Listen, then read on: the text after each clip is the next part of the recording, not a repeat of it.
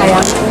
Jadi saya selaku menteri datang untuk membuka acara itu dan uh, saya mengharapkan ke depan semoga pemberdayaan perempuan dan pelindungan anak di Kabupaten Sorong sukses.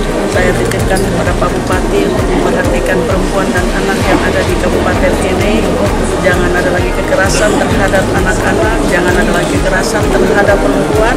Perempuan bahkan harus diberdayakan mulai dengan perempuan-perempuan yang produktif sampai dengan perempuan-perempuan lansia agar diperhatikan semoga perempuan-perempuan di kabupaten ini uh, semakin maju uh, dan semakin uh, jaya perempuan di kabupaten ini sudah diberdayakan maka sudah pasti kabupaten ini akan jaya ke depan.